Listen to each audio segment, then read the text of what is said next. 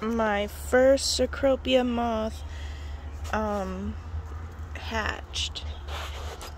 He's a boy. He's a little guy. He's so tiny. He's a tiny little guy. Hey, tiny little guy. Hey, big man. Look at how tiny you are, you little nugget. You're so little.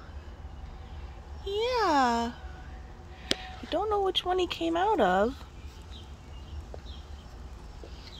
But